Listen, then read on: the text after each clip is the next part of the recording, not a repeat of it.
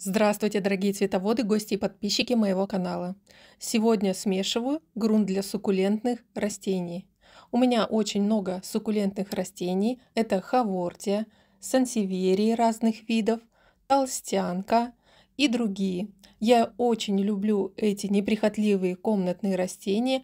Они хорошо растут в квартирных условиях, не требуют много ухода, но у этих растений есть одна слабость.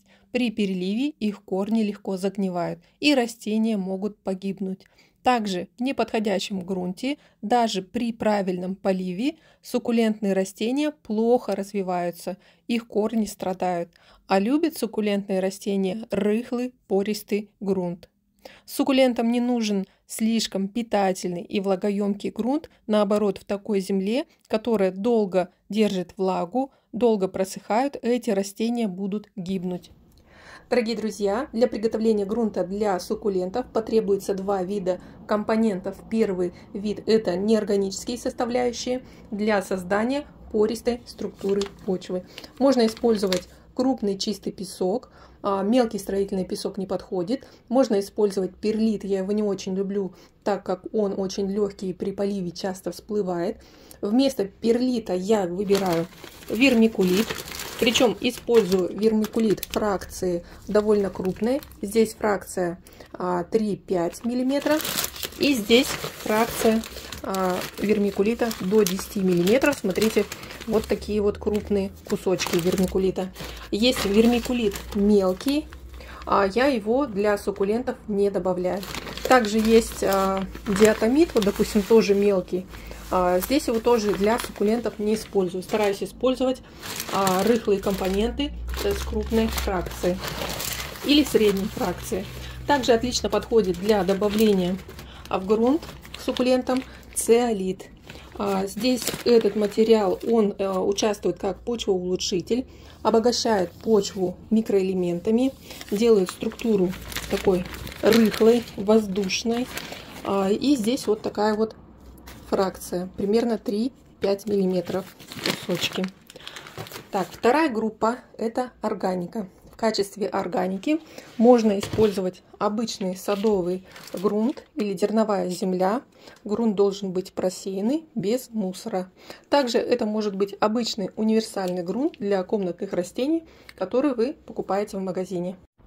И еще один компонент это древесный уголь, но мы его добавляем для обеззараживания почвы. Здесь у меня а, уголь для шашлыка, можно его измельчить и добавлять вот небольшими, вот, чтобы было кусочками примерно до 1 сантиметра. А, достаточно пол столовой ложки на 1 литр грунта для обеззараживания почвы.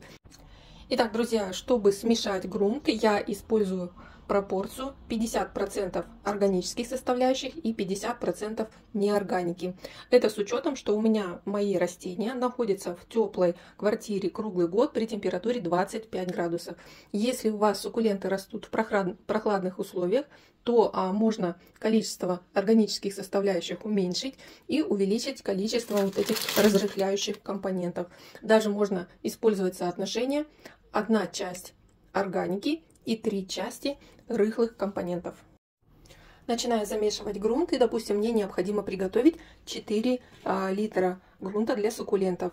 50 на 50, 50 процентов органической составляющей, это 2 литра а, земли, второй литр зерновой земли, литр по объему вермикулита. Здесь у меня крупная фракция сверху и снизу пол-литра мелкой, точнее средней фракции. 3-5 мм и тут а, до 10 мм, то есть встречаются вот такие крупные кусочки до сантиметра. И 1 литр циолита. И последним добавляю древесный уголь. Вот я выбрала вот такие вот а, мелкие кусочки, примерно до сантиметра а, шириной. И добавляю на 4 литра 2 столовые ложки. Теперь грунт тщательно перемешиваю. Дорогие друзья, посмотрите, какой получился рыхлый субстрат. Он а, очень рыхлый. Посмотрите, какой он светлый, так как рыхлые компоненты светлые, всего 50% дерновой земли. Такой а, грунт отлично подходит для выращивания всех суккулентных растений. Сейчас я его немножко увлажняю, еще раз хорошо перемешиваю. И, в принципе, грунт готов к использованию.